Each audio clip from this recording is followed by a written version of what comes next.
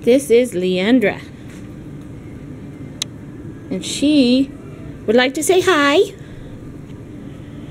And is waiting for someone to come and adopt her here at Help the Animals. She's a beautiful girl with a lovely personality.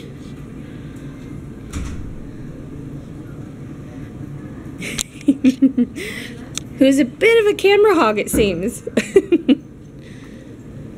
if you're interested in adopting Leandra, you can go to Help the Animals Inc.